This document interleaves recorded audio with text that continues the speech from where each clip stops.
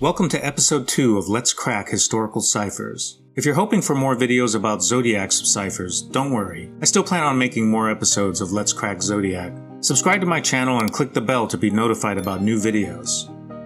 In January, graduate student Diego Lunardelli at the Federal University of Santa Catarina in Brazil sent me some enciphered telegrams to look at.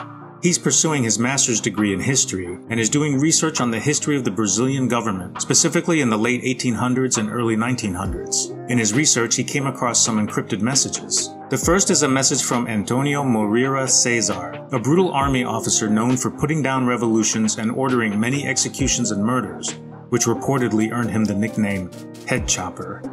His telegram is in Portuguese and is encrypted, but someone had already decrypted it and written it above the ciphertext. It's just a simple substitution cipher, so all you need is the key, which translates the cipher letters to plaintext letters. We can also type up the cipher message in the powerful code-breaking software AZ Decrypt and tell it that the target message is in Portuguese. AZ Decrypt solves it very quickly, the message from Cesar to then President Floriano Peixoto asks about dissent in the national military. President Peixoto was facing a difficult period of Brazilian history and had consolidated power in a centralized nationalist government. His loyal army officer Cesar apparently was warning him about dangerous anti-government factions in his own army and encrypted his message so no one but the president would read it. The second message Diego sent me was written by Hercilio Luz, an engineer who went into politics. He became governor of the Brazilian state of Santa Catarina in 1894, only a few days before sending this enciphered message to the national president Floriano Peixoto. Jarl and I looked at this cipher and noticed it was probably not a simple substitution cipher like the first message. One reason is because if you count the number of letters, they match the expected counts of letters in normal Portuguese text. That wouldn't be the case for substitutions, since the letters would have changed.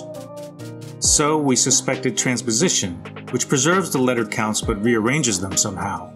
Another hallmark of transposition ciphers is that you'll see some periodic behavior, similar to the period 19 clue we saw in the Zodiac Killer's 340 cipher. In this case, Jarl noticed that if you rewrite the cipher into a 15 column by 22 row grid, a whole lot of repeating bigrams, and trigrams show up. But these repeating patterns don't show up as strongly for other grid sizes. Here's a way to see this clue in AZ Decrypt. We can load the cipher and run the Find Plaintext Direction tool using trigrams. In the results, we see that it finds a strong signal from the trigrams at period 15. So period 15, the width of the grid, is a very strong clue. In fact, once the cipher is written this way, it became obvious that the plain text can be read simply by reading from top to bottom, like this. In the deciphered message, Hercilio Luz writes to the national president of Brazil, Floriano Peixoto, about pressuring municipal leaders to help elect Felipe Schmidt, an important regional politician at the time. This secret message may shed light on the authoritarian regime in charge of Brazil in those days. The third mystery message Diego sent me was written by General Vale to President Floriano Peixoto. Like the first cipher, this one ended up being a simple substitution cipher, and is easily decrypted using frequency analysis or AZ decrypt. The deciphered message shows more of the regime's secret politics as Peixoto and his loyal allies sought more power, using codes to hide their plans from enemies. I'm grateful to Diego Lunardelli for sharing his research with me. Revealing these secret messages is important for his master's thesis as he uncovers more details about the history of his country's government. It's exciting to unlock these old enciphered messages, especially since they were originally meant for only a select few people to read them.